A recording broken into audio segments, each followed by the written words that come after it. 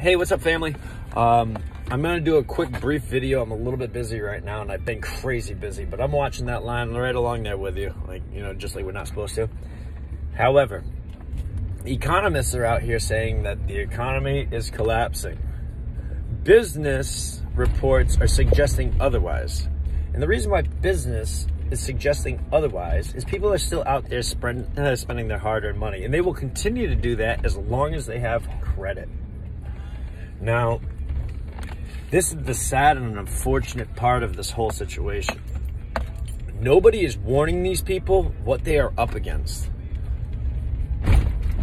Nobody in the media is talking about this. This should be one of the biggest topics in all of the news, but they're ignoring it.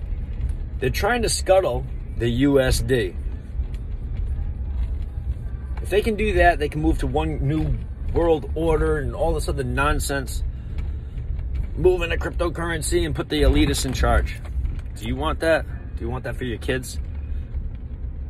The same people that run the media are called the Mockingbird media.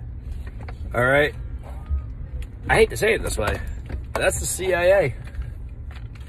Maybe my video will get blocked. Maybe my video will get shut off. Maybe it's too much information for y'all, but I thought I would drop it on you.